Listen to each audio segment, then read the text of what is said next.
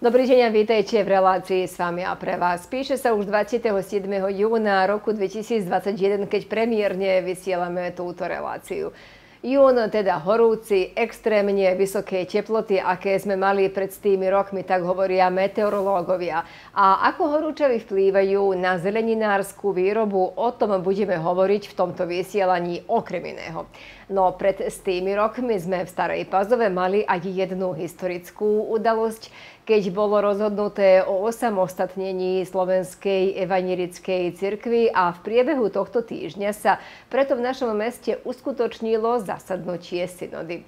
Začiatok toho priniesol však výstavu prác malého formátu Korene 7 a pre 8 sa v piatok ukončila jedna časť, možno aj stresu, lebo v ten deň riešili posledný v rámci troch testov malej maturity. Sú to témy dnešného vysielania. Stredu 23. júna sa pre tzv. malých maturantov, teda 8 začali tri dôležité dni, kedy skladali záverečné skúšky, ktorými končia základoškolské štúdium. Prvý deň bol test z materinského jazyka a literatúry, vo štvrtok test z matematiky a v piatok kombinovaný test. Či je stres za nimi a kto je najlepším žiakom v škole hrdinu Janka Čmeríka, bola sa dozvedieť moja kolegyňa Maria Vršková. Žiaci základných škôl od 1. do 7. ročníka majú už od stredy 22. júna letné prázdniny. U osmaci, tzv. malí maturanti, však mali ešte následujúce 3 dni od 23. do 25. júna veľmi vážne povinnosti, a to tri záverečné testy. Ako túto generáciu osmakov hodnotí ich triedny učiteľ? Boli tak úprimní kvôli profesorom aj ale boli dosť ležerní, čo sa týka ich možností kvôli učeniu. Takže ich prospech je dosť nižší od toho, čo mohli dosiahnuť. Aha, takže keby sa viac snažili, tak to mohlo byť trochu lepšie? Áno, oveľa lepšie. Ale bol aj ten korona rok a online vyučovanie. Myslíte, že aj to možno malo na to vplyv? Mo, áno, malo veľký vplyv. Aj nie len pre, pre žiakov, ale aj pre nás, učiteľov. Žiak generácie práve z vašej triedy, ako ho vy vnímate vašimi očami a za čo si zaslúžil toto ocenenie? On si zaslúžil to ocenenie pre e, veľkú prácu, pre e, veľký počet účasť na súťažiach, na školských súťažiach, na e, obecných súťažiach, na oblastných súťažiach. David Čmelík sa môže tešiť nielen preto, že úspešne ukončil základoškolské vzdelanie, ale navyše získal aj významný titul Žiak generácie. Ako hovorí, jeho najobľúbenejšie predmety boli všetky jazyky. Zúčastnil sa na mnohých súťažiach, naposledy získal významné medzinárodné ocenenie z výtvarnej výchovy Ex Libris. Budem si pamätať na súťaž zo slovenského jazyku, oblastnú súťaž, keď som v 5. ročníku obsadil prvé miesto. A ďakujem mojej triednej, Kataríne Toporskej, že ma pripravovala na tú súťaž.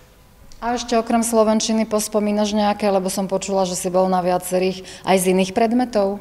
Áno, bol som aj z anglického, aj z nemeckého, aj z chémie, aj z matematiky, aj z výtvarnej, Teraz, keď ste mali ten záverečný večierok, kde si žiaka generácie získal ty, ako si sa cítil a čo na to hovorilo tvoje okolie?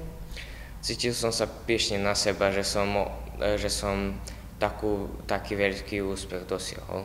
A okolie ako reagovalo? Pá mi blahoželali. Nebola tam nejaká závisť, že ja získal to on a nie ja? Pa nie. A ešte ma zaujíma teraz cez leto, aké máš plány a čo by si ďalej plánoval, do, na akú školu? Pa, pre plány ešte neviem. A pre školu by som zapísal do gymnáziu, ale ešte neviem na ktorú, neviem či Pazove alebo v Indii, alebo niekde ďalej. A čo by si chcel odkázať všetkým tým, ktorí budú robiť maturu na budúci rok? Ty to už máš za sebou, už máš tú skúsenosť. Čo by si im tak poradil alebo odkázal? Aby sa pripravili na čas a aby nečakali posledný moment. Zaujímalo nás, podľa akých kritérií sa každý rok vyberá žiak generácie a ako prebieha celý proces. Každá škola má svoje pravidlá, na základe ktorých si určuje žiaka generácie a procedura je nasljedovna. E, podlja praviđijel e, ju tvori njaka komisija, u nas je to komisija trijednih učitelja, a e, psihologa školy. Znamená, oni zbieraju všetky doklady, ktoré sú potrebne pre žijaka generacije, tam su tije pravidla, diplomi, odmeni, a i tak ďalej. Na základe toho každá, každý diplom má nejaký, donaša nejaký počet bodov, na základe toho sa vyboduje, ščitujú sa body a o tom posljedné slovo dáva učiteľský zbor, ktorý odhlasuje o tom, ktorý žiak sa stane žiakom generácie. Práve sa skončili malé matúry, ako by ste zhodnotili, prebehli, prebehli v poriadku bez problémov a čo teraz ďalej bude nasledovať? Áno, prebehli bez problémov, ako aj behom minulých rokov. Mali sme 29 žiakov, ktorí sa zúčastnili e, záverečných skúšok. Všetci, e, všetky tri dni, vlastne všetky tri dni skladali e, všetci 29, tri skúšky. Čo sa týka ďalších e, krokov, e, preliminárne výsledky máme, majú byť zverejnené v nedeľu. E, v ten deň žiaci majú aj právo sťažnosti uvidíme, znamená, či bude vôbec potrebe za to, ale vlastne e, školská komisia je v dispozícii, tu bude v škole, aj bude príjmať tie ich stiažnosti, ak budú, a potom už, znamená, budú vyhlásené konečné výsledky, e, behom júla budú žiaci vyplňať žiadosti, kam by sa chceli zapísať do, e, na sredné školy, Ďalej znovu budú tie sťažnosti na, na žiadosti, budú sa kontrolovať, či sme my ako škola E, dobre niesli všetky tie školy, všetky tie žiadosti vlastne, aj nakoniec 10. E, júla by mali byť e, konečné výsledky zápisu žiakov do stredných škôl v prvom kruhu. Všetci žiaci si už môžu užívať letné prázdniny a tu je pre nich zo pár želaní. Zaželal by som všetkým šťastie v ďalšom vzdelaní a aby pokračoval naše kamarátenie aby sa radovali v tom, čo robia, čo si vyvolili, aby im bola profesija. Aby si maksimalne odihli, aby nerozmišljali o školi, už teraz za njih osmaci, osmaci ešte majú. Normalne majú si dobre rozmislieť, kam by sa chceli zapísať. A ja by to úspešne uskutočnili. A, a im, aj ostatným žiakom želám najprv, aby sa dobre odihli, aby o škole nerozmišljali veľa, behom ljetnih praznina, už potom v samom augusti, keď se, keď se začne blížiť ten nový školský rok, potom budu mať dostatočne času, aby aj o tom začali rozmýšľať. Osmakom no, normálne želám, aby sa e, veľmi rýchlo aj dosť ľahko adaptovali e, v novom prostredí v ich nových stredných školách. Ďalší školský rok ubehol ako voda a vysvedčenia si žiaci preberú v pondelok 28. júna.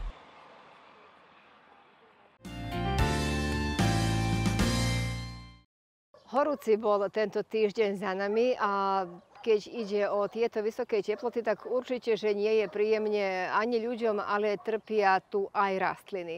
A aká je situácia, keď ide o výrobu zelenín? Práve o tom sa porozprávame e, v rodine Ďarmockovej z Oľov.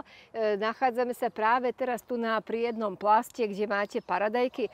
Oľa, zdajú sa mi pekné, E, tieto vysoké horúčovy, ako vplyvajú na nich? To mi na začiatku povedzte.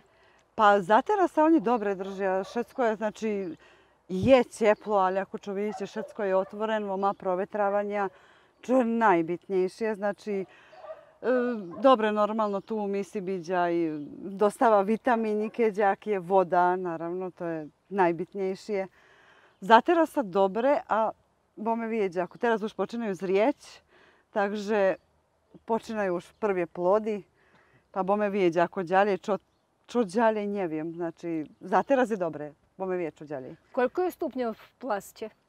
Ovelja vijeđa ko njevi... O, ano, ano, velja vijac, znamena voljakih, pa iđa i do 50, zavisi kjelko je tu voka, ali sigurno je velja vijac. Ježe je provetravanje, ali pa, tak, štirica je voljačo do 50, ja mislim, že je. Tak, máme aj teplomer tunúk, ale trenutno neviem, koľko. Nakúchneme trochu neskôršie, ak bude to možné. Teda tu sú aj pumpy, vy zavlažujete, pravidelne ošetrujete. Koľko času trávite tu na? Pa dosť. Napríklad, ak sme nie tu, potom sme tuto vonku, takže sme stále. Znamená, my sa s týmto bavíme, toto nám je robota, z tohto žijeme. takže sme faktički stale polji.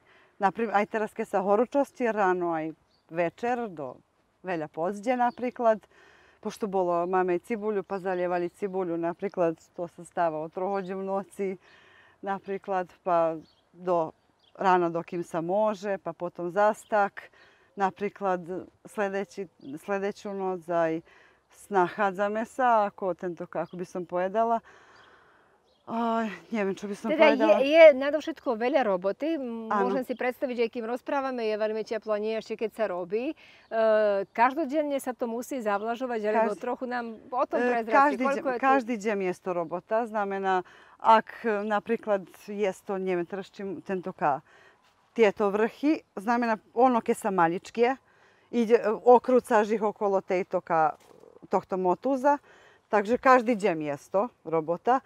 Toto sa okrúca, dokým god priđe po... Dok mi chceme. Te... Áno, áno. Može sa aj zaseknúť od horka, ak ti myslíš, že je dovoljno.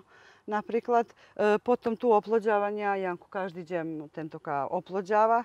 My si každý deň sa oplođavať, lebo potom by boli plody ni pekne. Uh -huh. ni, ni, ni, boli by ni ni, ni pekného oblika. A ako to robíte? E, to je v, z počiatku, kým sa maličky sa môže s tým, a to sú také maličké instrumenty, s ktorými pípaš každý kvet, ale toto teraz už môj manžel uh, urobil voľačo na motor, pa on sám. Teraz ja to neviem objasniť, ale tento to je jeho robota. Doduše niekedy i Davor to robí, ale... Znamená to, že nemôžno nechať všetko na prírodu? Nie, plasteniku nie. Ako čo vidíte, plasteniku sa misia zaduvať aj záperke, neviem teraz koľko ajde, kto sa rozumie, kto e, záperke, tieto listy, znači už jeste zaz listy, zaznačím to skrajovať. Listy idú dovka, aj záperke všetky idú dovka, napríklad teraz tento nemá, on, ono má takto záperok, pa sa to misli strhávaš, dokým na otvorenom ostáva všetko, všetké záperke zbog slnka, zbog... E, znači, e, inakšia je plastenička znači... proizvodnja, a inakšia je tôka proizvodňa. E, tam si trochu neskôršie pôjdeme pozrieť. E, predpokladám, že tieto listy sú takéto kvôli týmto e, veľkým horúčavám, čo sme mali. Áno, to všetko my si ísť do uka, lenže nestihávame. Znamená to všetko za týchto pár dní, všetko má ísť do uka. Faktički ostávajú len tieto hornie listy, tieto dovka majú všetké ísť do listy. Kedy sú tieto paradajky zasadené a kedy už budete môcť jesť? Pa už ich Aj môžeme jesť. Už ich môžeme jesť, znači zasadené sa okolo 20. januára otprilike. Bolo aj zima, keď sme ich presadili, pokrývali sme ich zagrilom, znamená večer pokri, ráno otkri, lebo nemôže ostať to cez deň pokrytvo. Bolo, bali sme sa, že zamrznú, lebo my sme, toto sme nerobili, plastenik, robili sme na otvorenom, plastenik sme vlanji sme prvi rasadili, ali sme pozdjeli, takže sme njemali skusenosti za zimov. Dok im tohto roku, evo, uspeli sme troška čašije, evo, znači nje vidim kjelko sa vidi, jesto zrelih jabločkov, znamena na, na, na njeđelju už bi su mala pohnuđe na pljac, už, znači, dochádzajú plody. Ale chcem povedať, prirodno dozreli. Znači, ni sa, ni sa na silu dozretie, ni sa prskanie s voľačím, že by dozreli, lebo čo ja viem, ni sa plne chemikálií, ni sa...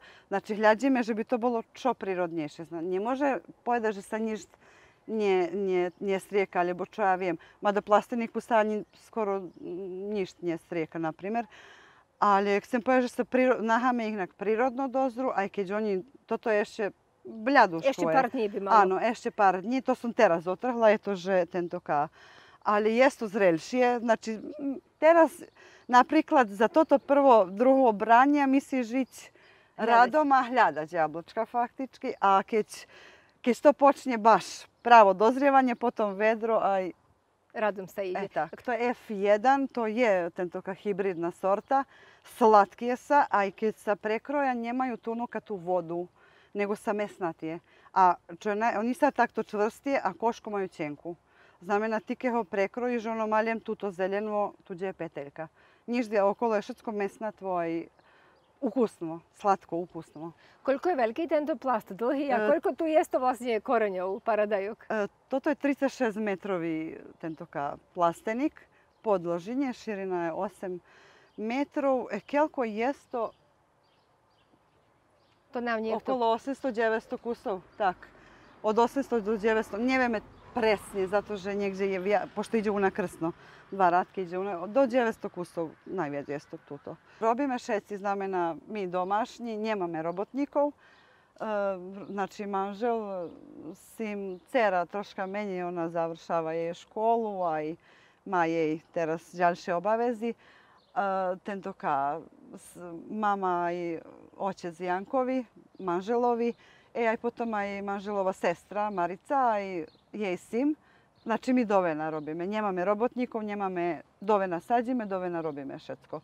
To A máte vy času na oddych, na letovanie? Pa, ak mám Boh dať, ja Pôjdeme tohto roku, ale len na jedno 7 dní. Ak dađe pán Boh, že máme, znači telko si môžeme tých 10, 7 do 10 dní Počas to si môžeme. Dohodnúť. Pa napríklad, keď jablčka, keď vypredáme jablčka, je to ešte, keď sa vrátime z mora, ale tých, za tých 7 dní tento Jankovi rodičia sa tu pa budu na dome predávať aj chodili aj napred za tohto roku. Nisam sigurna, či budú môcť napred, ale na dome budú predávať. Ak. Môžeme teraz pozrieť, čo ešte máte, okrem teda máme aj tu aj tieto paradajky vonku? E, áno, toto sa, jesu tam visoke, to sa šljivar, te tam više čosa, to toka sa niske paradajki. Oni troška poziš. Da oni tako Ano, to je najvješće, oni znači prijedu tak poće, a i ten toka, oni sa niske. Oni pridu za pozješe, oni vjace za varenja. Lebo se oni hustije, e, meke njisa, znači oni že bi stali, oni že bi, oni sa baš za, za varenja i tak, tije, preradu. A kad ih možemo očekavati? Još tam druge polovici leta potom? Pa, recimo, kraja, pa, početog augusta, tako otprilike, čujete raz jun, pa volja gdje početog augusta, možda je troška pozdješje. Zavisi. Znači, jesto za teraz už plodija i už počina tentoka. Toto sme aj z posadili trošku pozdješje, že bi stihli troška pozdješje, keď priđe čas za varenje i za preradu. Jeden z tých úsilovných, ktorý často chodia s rodičmi práve sem a aj dnes prišiel pomáhať rodičom, je Davor. Davor, povedz mi najprv, koľko máš rokov a či rád chodievaš sem? Pa chodievam, rád chodievam sem. Aj te 11 mám roku. Do ktorej triedy chodíš? Po do štvrtej triede. Základnej školy. To je završávam teraz štvrtú triedu. Teda na rok už budeš piatak. Pa dobre, no. A keď sem prídeš, e, robíš to, čo chceš, alebo čo ti rodičia povedia, že treba v tej chvíli uh, aby to bolo niečo, čo nie je veľmi ťažké, alebo čo ty robíš? Uh, pa ja chcem voľať čo ťažké, uh, e, príklad tém. Uh, e, keď sme boli tieto kastúpy, kladli to všetko, sme tém. Ja chcel len trocha, trocha na glien zadvihnem. Stĺbockom mi nedaká nedýraj, dostaneš bruch. Tak tém som ani to nerobil. A čo sa tebe zdá tak ako najzaujímavejšie? Čo najradšej chceš robiť? Prídeš sem zalievať, oberať plody, alebo kde treba pa, tie listy... Plody. Oberať plody? Ob, oberať plody aj tie... To je najkrajšie. To? Aj špartať, no. Aj to robíš? No. A si aj... pomáhal možno, keď sa viazali tieto paradajky? Aj to som čial som motúzy všetko, aj tuto između ako sa tieto motuzi sa te vezni primjer na motiku, aj te sa zaviaže sa potom čava. Tak. Uh -huh, uh -huh. Aj poslije daro ljebocko te viažu okolo stĺpa, lebo te, že by jablčka neboli veľa zvonku. Uh -huh, uh -huh. Teda musí sa vedieť, čo a ako sa pestuje. Uh, pa na čím vedieť. A čo si sa ty naučil pri tom, keď tieto paradajky? Pa, čo je teraz najdôležitejšie pre nich? Pa najdôležitejšie im je voda, že by sa polievali, že by oni mohli riazať tie prichrani aj tak. Uh-huh, uh-huh. Už ste trhali aj tie tzv. záperky? E, pa nie, tuto sa tu oko netrhajú uh-huh. záperky, lebo ten, keď je prímer slnko aj ten, že, lebo bude malo plodov a zo záperka ešte vyterajú ešte plody. Cez leto budeš tu tiež s rodičmi? Pa tiež, tak tiež. Mama aj ocko, keď budú oberať, ja im budem nosiť gajby. Prídu s kom prídu s kombim aj potom do gajbicu oni s tajmi oberajú a ja im donášam. To či nie je ťažko? Pa nie. Zodvihnem tak dve gajby aj potom prázdne dve gajby zodvihnem aj potom môžem. Uh-huh. A, a plne stačíš... to nahávajú a to posle deda nosí, lebo mama aj ocko. A stačíš ty aj s kamarátmi sa hrať? Pa stačím. Všetko, aj do školy? Pa primer nedeľu, lebo sobotu sa ihrám s drugarama aj tak. A pracovnými dňami pomáhaš rodičom? No. A čo by si chcel byť, keď, keď No, budeš veľký? poľnohospodár. Poľnohospodárom? No. Keď sme sa poprechádzali po záhrade, ale aj nakúkli do plastu z druhej strany, Ola videla, že sú tu ešte také zrelé paradajky, teda dajú sa tieto krajšie, ale ešte pár dní Ešte, počkáme. no, áno, oni by mali jesť, to je zreli, ja nemôžem, znači myslím ísť cez nich, že by som naoberala, nemôžem, to som tu z kraja, čo som naišla. A to, čo mňa ešte zaujíma, teda veľa je práce, ale nemôže sa pestovať iba jeden druh zeleniny. Teda okrem paradajok máte tu na aj e, baklažan, alebo ako sa to vraví, Patličan. patličan. No. E, tu je aj por, neviem, papriky. Papriky, teda papričice musí tie sa rozličné e, zeleniny pestovať. Nemôže, znači misi, misliš mať napríklad na tej tezgi našej, na placi, misi byť veľa artiklov, lebo nikto ti ne príde za jedom artiklom, nego prídu, znači, a znamero viđe kupiš to, to je to, a evo mag najde na šetku na jedne tezge, on to šetko veznje na jedne tezge i njeđe djalje, na. Velja znači. Znači mi imame aj černu cebulju, pogača, rešće, celjar imame posađenji, mrkvu zelen, to je njina te, to, to, to je veoma maličko za žebišetsko zastalo. Tu toka, znači imame na drugih poljeh, ten toka. E, Čo, čo ešte máme, nemôžem sa teraz ani sečiť, čo všetko máme. To Teda znači, paprika terajšia- to je. Tu nás som videla. Áno, to je tá horka, bude? maličké, tie srdcia.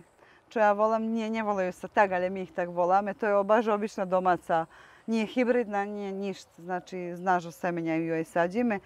Tento kaju potom, keď stihne, čo predam na tezgi, a čo ni, to robím do flaškov. To mám baš dosť tento ka, dosť mi hľadajú to. Čak som robila aj s e, týmto ka, Hroznom. s hroznom bijelim. To, To mi telko videla. hľadajú, baš mi hľadajú to. Znači, neviem, to hrozno bude, hádam, tak horkavo od tej horke papriky, baš dosť mi hľadajú to. Dok, dok im napríklad aj jablčka mljetie mi hľadajú strašne veľa, pa robíme mljetie jablčka. Tento ka, horkie, blage, kto ako chce, dosť, dosť toho. Znamená to, že vy predávate takmer všetky druhy zeleniny, ali že predávate aj spracovanú zeleninu v zmysle tých e, varených paradajok alebo už Áno. či A robíte šet... aj ajvar? E, nie, nie, nie, to je všetko, čo robíme, znači paprika do flaškove, mleti jablčka od tých prerobenih tentoka. Ne stihavam drugo. Stvarno za ajvarom, nemam ja na papriku, ne sađeme aj za ajvar, takže nje, nje, nje bi plaćilo bi sami. A keď by ste dali na papier všetko, ktorý, ktorá zelenina je tak Naj, naj, najlepšia? najúnosnejšia. Áno. Pa neviem, teraz nemohla by som možno paradajky, ale pa všetko je, ak sa dobre urobí a ak sa pekne preda, všetko je unosno. Znači nič ne sadiš, ne robi, znači robiš, robiš že by si imao korist od toho. Znamena, všetko na svoj sposob má voľakú, voľakú, ako mám povedať. Hodnotu. Áno, znači nije teraz, že, napríklad tá cibulja pogačar, to nikto nie sa, ni že nikto, nak sa vypravim, jest to kto sadí, ale veľmi málo znamená. Ten pogačar, to je, nemôže stať, nemôže e, vy, vyženie drovšie. Všetci sadia tú industri, industrijsku, ona je tvrdá, nie chutná, nie je sladká ako tátoka. Takže ja myslím, že pazove, neviem, či čak voľa kto sadí tu pogačar cibulju. Mislim, možda mami keď je to pohumna, aj tak, ale Majú. no. E, roboty veľa, každodenne tu, ale ja ťa poznám ako osobu s úsmevom. Aj na trhu, keď sa stretneme, e, padne toto ťažko, alebo keď vieš, že je zisk z toho, že sa z toho žije, potom je to nejako ľahšie, alebo... Pa ne môžem povedať, že Za ťažko. pocitom sa chodí do poľa pracovať? Pa ako čo ľudia chodia do robote, nam je toto robota. Znamená, s tým, že my môžeme, napríklad, eto, dneska nepome do robote, dneska napríklad ideme voľa kde, alebo môžeme si sami. Naravno, ne možeme mi baš aj način poljevať a mi ideme, ne može tak. Znači, ali si môžeme Z času sami. na čas si môžete sami vyorganizovať, Áno. ako chcete. Áno, áno. I myslím, nemôžem povedať, ak voľa čo e, robíš, čo volíš, takže nie je to ťažko tak. Aj keď, e, ako mám povedať, keď, sme, keď to porodično robíme, všetci sme dovena, všetci, e, znamená, vidím, malý chlapec náš má veľkú voľu robiť povrtárstvo, Takže, vieš, keď to vidíš, koľko von to volje, koľko to chce, potom aj tebe sa milí robiť, aj prosto ťa tera, aj ďalej robíš, nak, e, nižšie ni ťažko napríklad. A máte v zime oddych? Je niekedy pauza pre vás? Pa v zime poljoprivrednici da, po, poljnohospodari, ali mi povrtari nemame ani cez zimu, lebo mi cez zimu hodíme na plac. Tak, znači máme slobodno možno ten pondelok, utorok. Doduše Janko robil plastenik celú zimu, ni ten, tento, tento robil prošlu zimu, a túto zimu robil tam, čo máme ešte jedno, máme plastenik. To je tam Urbanovej, tentoka, takže on faktički ani nema vodih cez zimu. Znamená to, že všetko, čo posadíte, musí byť dobré, pekné a musí sa predať, aby zeleninári mohli jednoducho z toho žiť. Áno, áno. Znamená, do, do samého finálneho proizvodu, dokým predávame, je veľa robote. A vy sa koľko rokov už zaoberáte týmto? Pa, ja i manžel sme 20 aj kusu rokov do Vena. Znači, od ako som prišla k njim, oni už hodili na plac. Znamená, jeho rodičia sa tým bavili, pa, mladší boli od nás, verovatno. Takže dlho rokov, dlho. Aj plánujete v tomto pokračovať? Ak, pan boh dađija, ano. Ten to znači? ka. Ma, mame, znači, teraz se ljeto, mame vibera cibulju, a i potom vijesem. Mame vibera njemrkve, a i... Znači, teraz se ljeto nam je vjac e, pljaca i spremanje za pljac. Znači, mame zelje, mrkvu, pušlje robim, e, paradajki. E, Veli pekni, djakujem, že ste nas uvitali tu na, na tomto vašom pozemku. Kde Ďakujem. musím povedať, všetko je pekné, upravené, veľa práce vložené. Želám vám, nech sa vám darí v tejto práci naďalej a do nového ďalšieho nejakého stretnutia, buď niekde pri inom výrobku, alebo možno na trhu. Pa áno, budeme vidieť. Možno, že príde, keď budeme cibuľu vyberať, alebo už sa to my dohodneme, ako čo. Ďakujem aj vám, že ste nás navštívili. Ďakujem veľmi pekne. Teda je to taký je vlastne život zeleninárov a jedna z tých e, rodín Starej Pazove, ktorá sa zaoberá zeleninárstvom, je práve aj rodina Ďarmocká.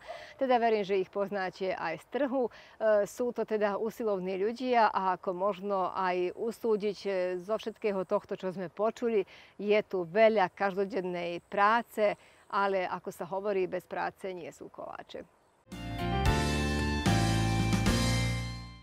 Vo štvrtok sa v Ústave pre kultúru vojvodenských Slovákov konala prezentácia knihy práve tejto, ktorú mám v rukách. Sú to ľudové zvyky, povery a obyčaje v Starej Pazove, ktoré zozbierala profesorka doktorka Anna Máričová a na vydanie pripravil Martin Prebudila, ktorého preto aj vítam v štúdiu. Je príliš teplo, koniec leta, ale dobre je leta. začiatok leta, ale je dobre, že predsa nejako sa tie kultúrne podujatia pohli. Teda v ústave bola prezentácia, ty si, môžem povedať, hlavným vedníkom pre vydanie tejto knihy. Tak, ak sa dá povedať e, výnik, ale viac e, som cítil osobný nejaký dlh a k tomu, čo profesorka doktorka Anna Maricová, e, staropazovská rodáčka, dlhé roky robila na Filozofickej fakulte na oddelení slovakistiky v Novom Sade a ako naša dlhoročná spolupracovníčka si tu na Pazovský kalendár.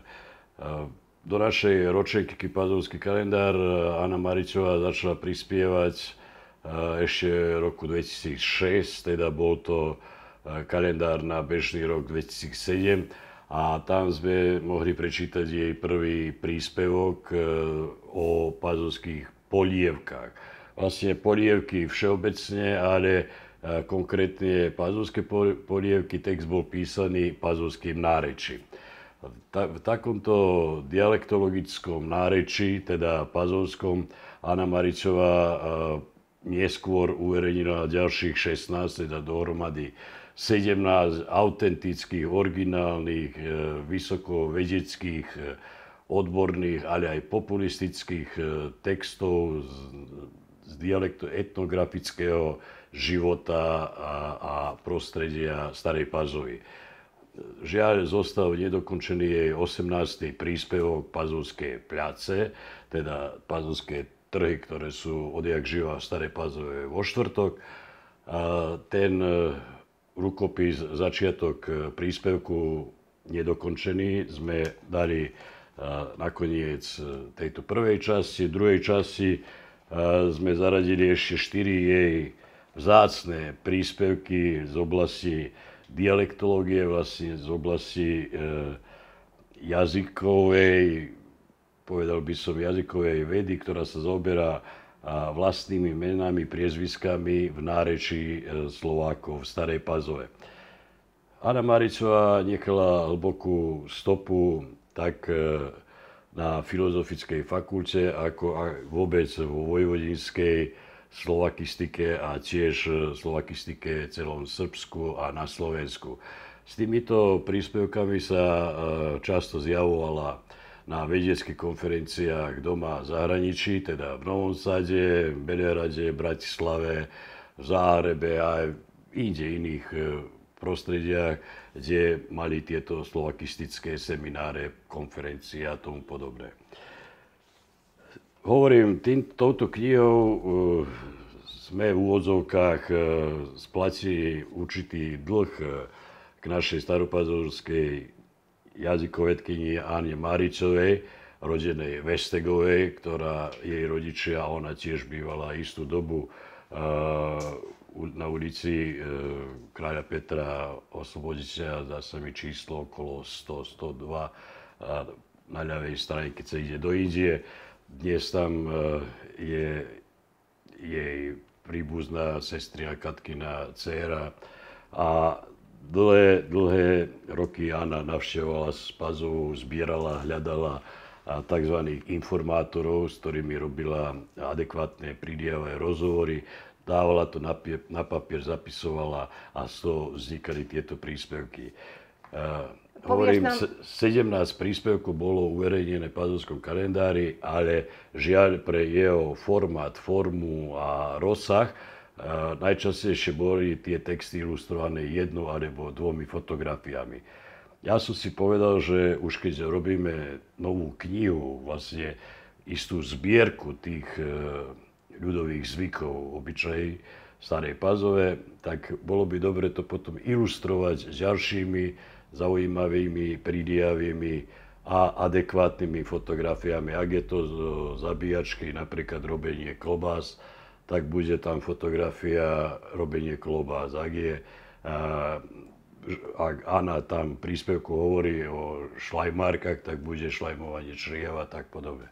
Takže sa nám podarilo tieto jej práce ilustrovať vzácnými fotografiami, ktoré sme zase zozbierali, dostali vďaka Jankovi Horvátovi, nášmu, na, na, náš pazovský kronikár, Tiež e, aj fotografie sme našli aj v ústrednom archíve Slovenskej evangelickej církvy a rôznych domácnostiach. Osobitnou prílohou pri konci knihy je tzv. fotopríloha z rodinného albumu, kde tiež máme e, rad fotografií od jej detstva až po, po, po posledné dni, ktoré strávila na fakulte, odišla do dôchodku a pred 5 rokmi prakticky odišla spomedzi nás. Táto knižka vychádza k jej nedožitým 70 ktoré, oslav, ktoré by oslavila práve začiatkom júla.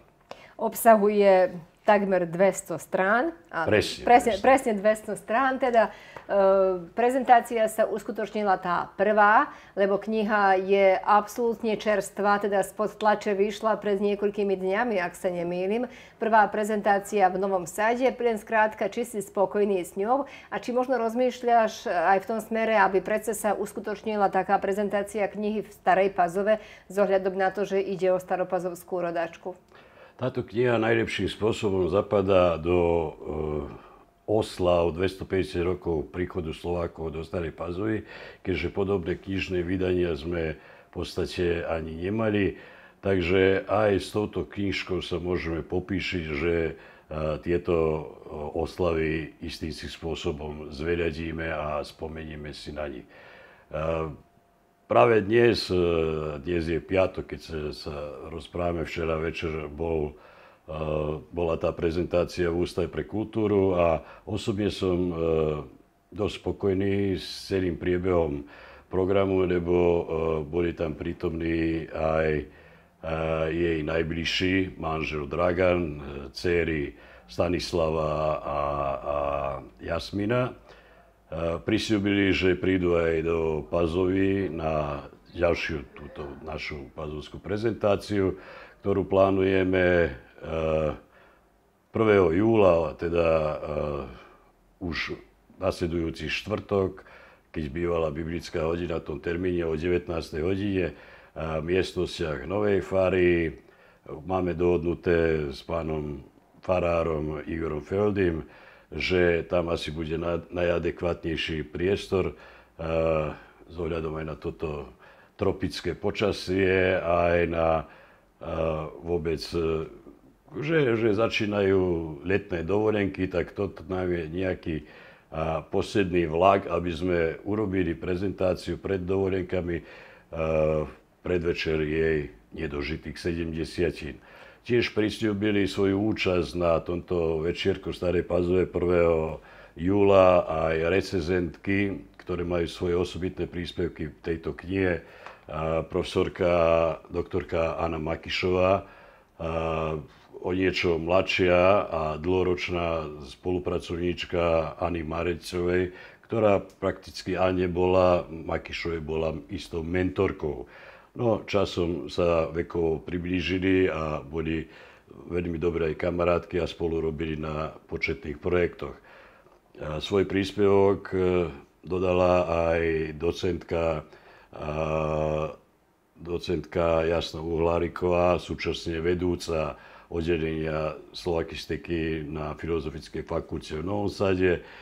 Včera e, predniesli úryvky zo svojich príspevkov, toho doslovu a e, voľnými slovami sprítomnili práve tú spoluprácu s Anou Máricou, dlhoročné účasti na, na spoločný, spoločné účasti na konferenciách doma zahraničí a samozrejme, že e, im chýba aj na fakulte, tak ako aj členom rodiny. Ďakujem Martin za účasť v relácii. Teda tešíme sa na to stretnutie a na prezentáciu knihy v Starej Pazle.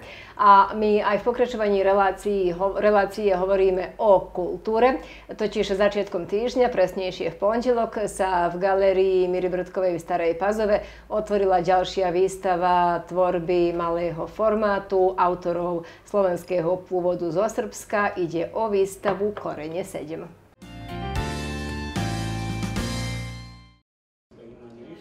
Výstava Korene už niekoľko rokov poukazuje na to, že vytváranie prác malého formátu predstavuje vážny umelecký skutok. Napísal Sáva Stepanov, výtvarný kritik, okrem iného v katalógu pre výstavu Korene 7.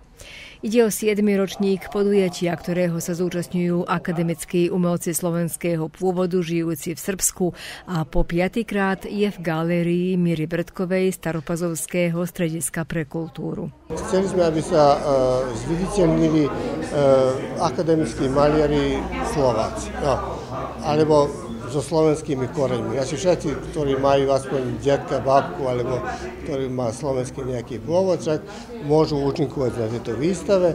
Okrem toho musia zakončiť alebo výtvarnú, alebo akadémiu užitkového umenia, alebo architektúru, alebo niečo, čo je viazané za umenie. Isto tak, aby boli aspoň e, členovia Združenia výtvarných umelcov Srbska, Združenia užitkových umelcov Srbska, fotografov Srbska, alebo e, tých profesionálnych združení. Lebo aby sa niekto stal členom toho združenia, on musí spájať nejaké kritérium, a ak tam prejde, potom je asi už akože e,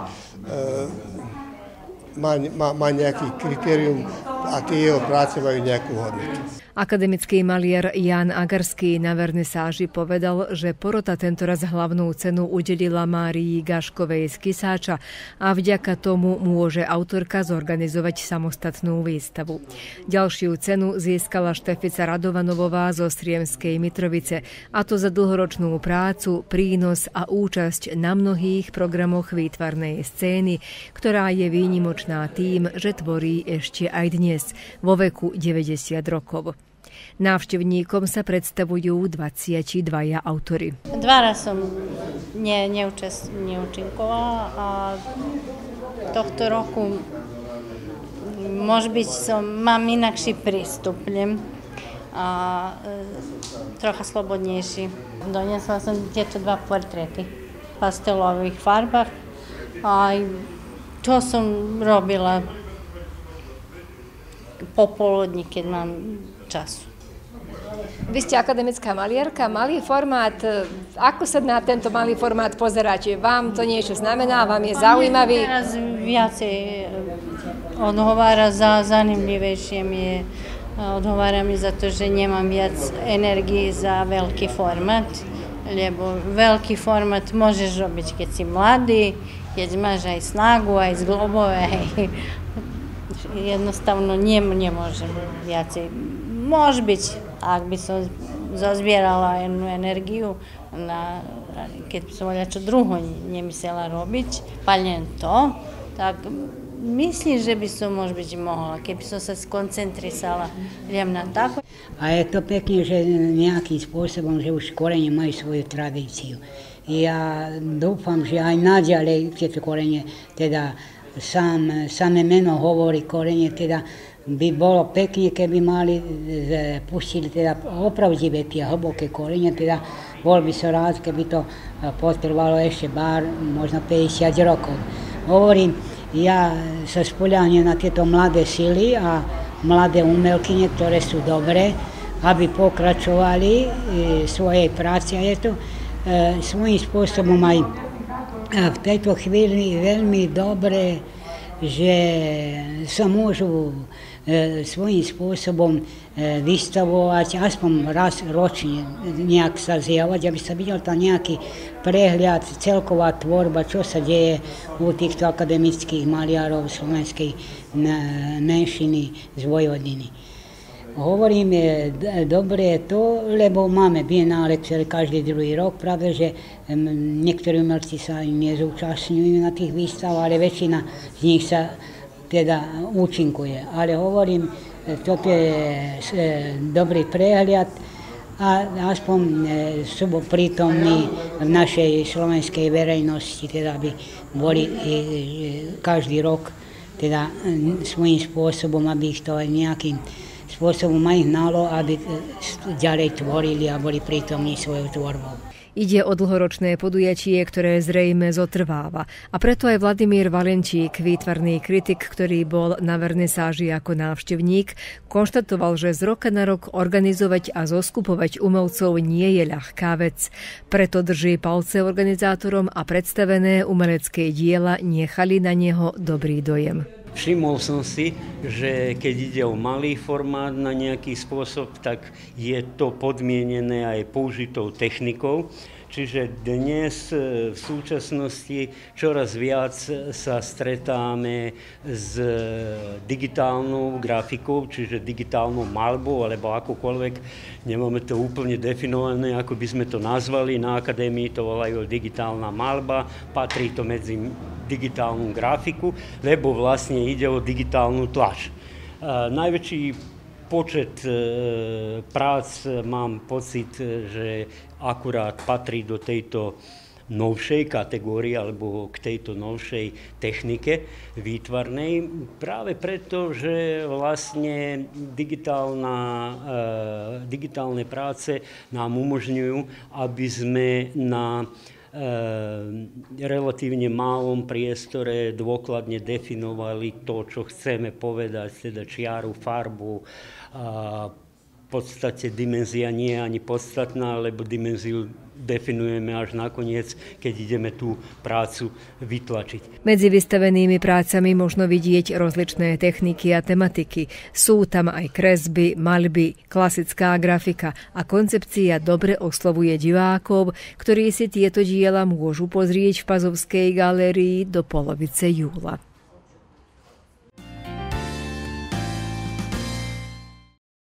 V tomto roku si pripomíname z té výročie osamostatnenia Slovenskej evanilickej AV cirkvi v Srbsku, ale oslavy však budú na rok kvôli aktuálnej situácii s koronavírusom. Predsa na túto pre Slovákov evanielikov dôležitú udalosť pripomenuli sme si aj na službách a na synode, ktorá sa v tomto roku uskutočnila práve v Starej Pazove.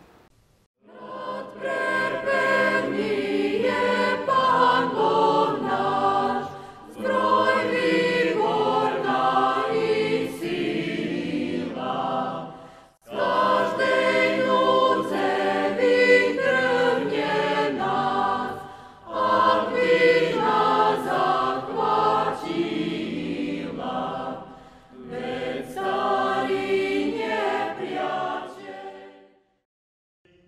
Služby Božie pri príležitosti z tého výročia od porady, ktorá bola práve v Starej Pazove v roku 1921 a na ktorej bolo rozhodnuté, aby sa založila slovenská evanielická AV cirkev, uskutočnili sa v najstaršom slovenskom chráme 23.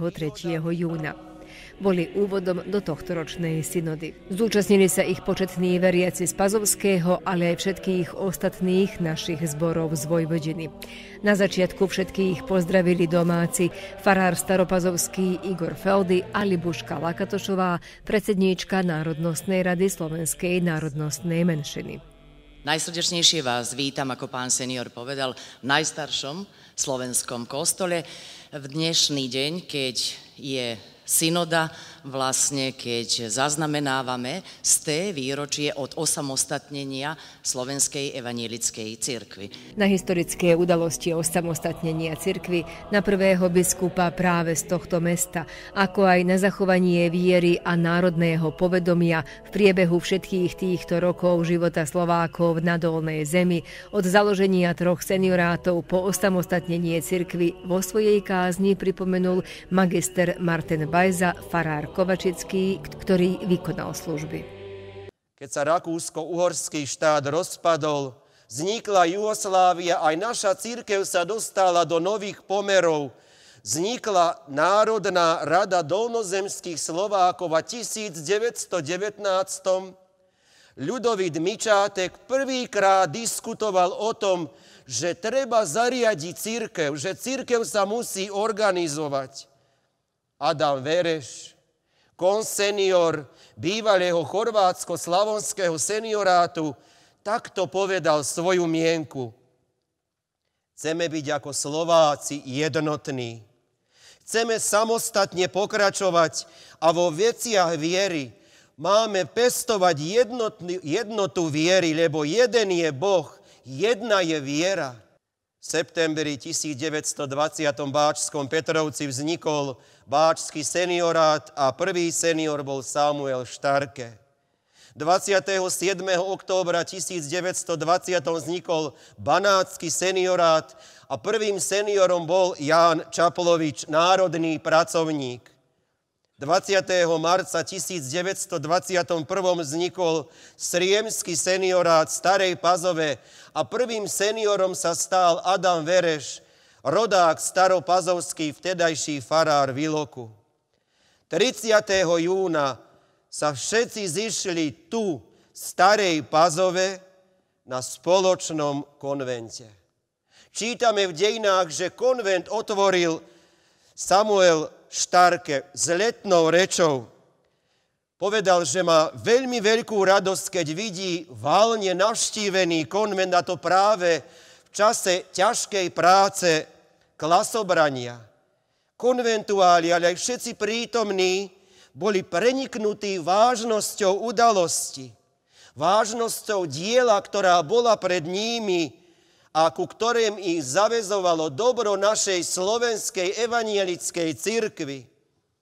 Doktor Ján Petrikovič povedal takto, aj iné cirkvy majú biskupa v tomto štáte – my nesmieme od tejto zásady nikdy odstúpiť.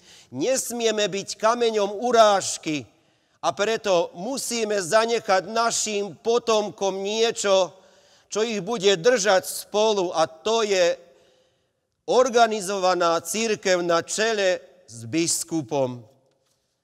A konvent jednohlasne schválil zriadenie dištriktu a dištriktuálny E, predstaviteľ, čiže ako zástupca biskupa sa stal Samuel Štarke a administrátor, čiže synodálny dozorca bol Ľudovit Mičátek a neskôr doktor Cyril Abafi, právnik. Prvý konvent sa konal práve v Starej Pazove 1925. 1928 na synode bol zvolený prvý biskup našej církvy, Adam Vereš. Človek slovenského národa, vizionár, rozhľadený človek, ktorému záležalo na dobre našej evanielickej cirkvi.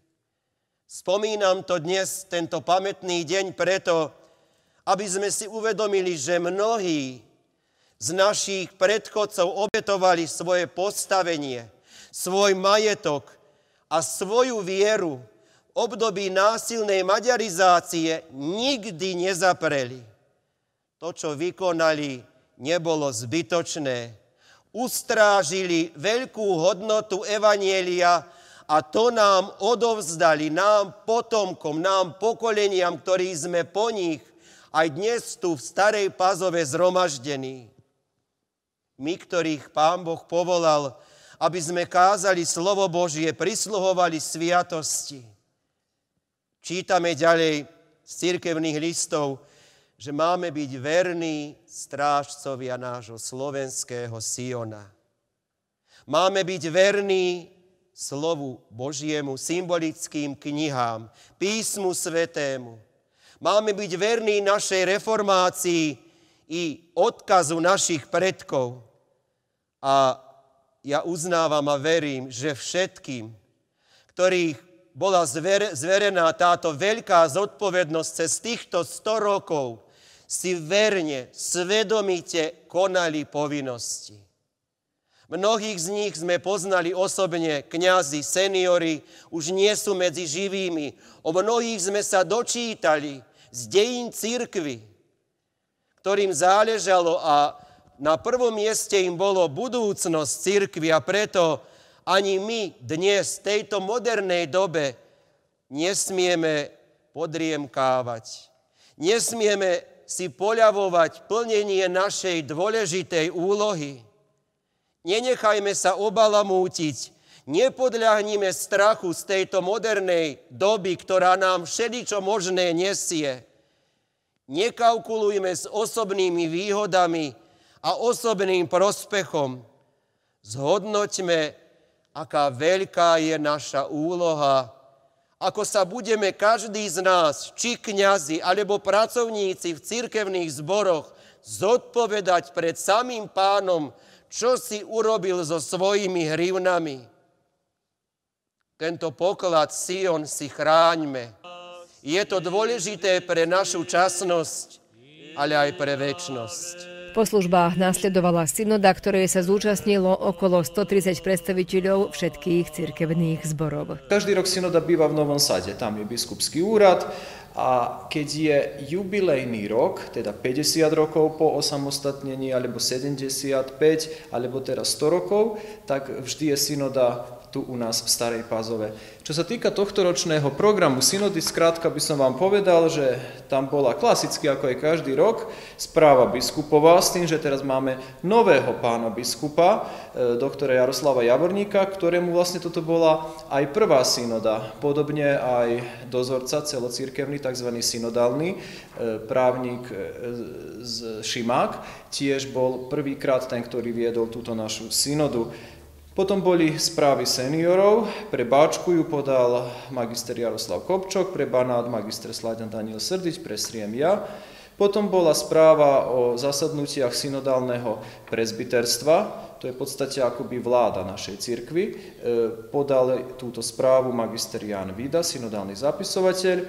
Boli schválené účty, e, toto viedol magister Jaroslav Kopčok, ktorý je synodálny pokladník a taktiež aj magister Jan Cicka, ktorý je synodálny kontrolor. Schválené boli aj pravidlá o spravovaní Fondu pre duchovnú činnosť a odovzdané pamätné medaily a mince jednotlivým synodálom, neordinovaným, ale aj farárom za dlhodobú činnosť. V rámci našej cirkvi e, synodov bolo rozhodnuté, že každý jeden cirkevný zbor z pôvody, ktorú má, 5% bude zasielať do centrály a potom z tých financií sa budú podporovať e, slabšie, chudobnejšie cirkevné zbory alebo budú sa celocirkevné e, aktivity financovať. Teda toto je jedna dobrá činnosť a schválili sme na tejto synode, e, tak povediac jednohlasne aj pravidlá pre tento fond.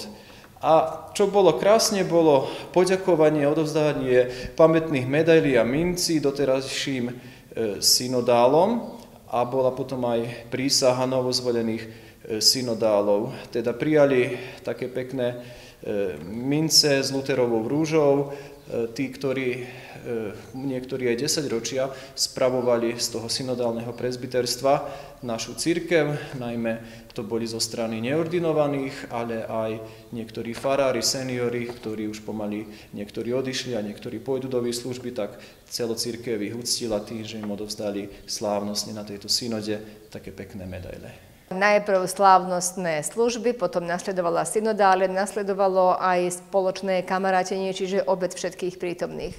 Áno, po skončení synody sme sa presunuli na obed, ale dokonca sme mali pauzu aj medzi službami Božími a samotnou synodou, kde tu na v priestoroch našej fary e, prítomní sa zhromaždili a naše ženičky a vôbec náš cirkevný zbor Staropázovský prichystal krásne občerstvenie pre všetkých synodálov a po skončení synody sme sa presunuli e, do Vojvodiny, kde ďakujúc predsedničky Národnostnej rady Libušky Lakatošovej a obci Stará Pazova sme mali pekný obed, ktorý oni financovali a všetci tí e, synodáli boli naozaj pozitívne prekvapení, že mali ešte ku synode aj obed, čo nebýva praxou. Jún je historickým mesiacom pre Slovákov evanílikov na Dolnej zemi. 25. júna roku 1770 bolo založený najstarší cirkevný zbor, na pôde ktorého bolo práve koncom júna v dňoch 27.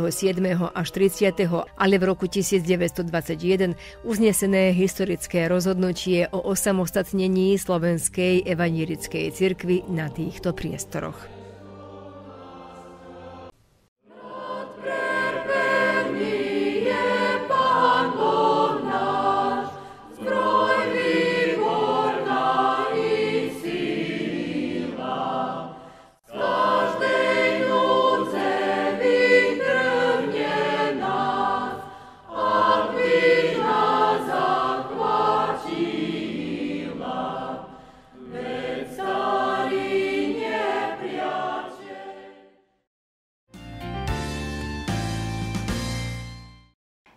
Tak teda júni je ako si historickým a významným mesiacom aj z iných uhlov. Okrem dôležitých udalostí z minulosti, tu je koniec školského roka, čo zase znamená začiatok novej cesty, či už pre ukončených osmákov alebo stredoškolákov. Aj poľnohospodárov už čaká žatva prvých klasov a všetkých nás spolu dlhé leto.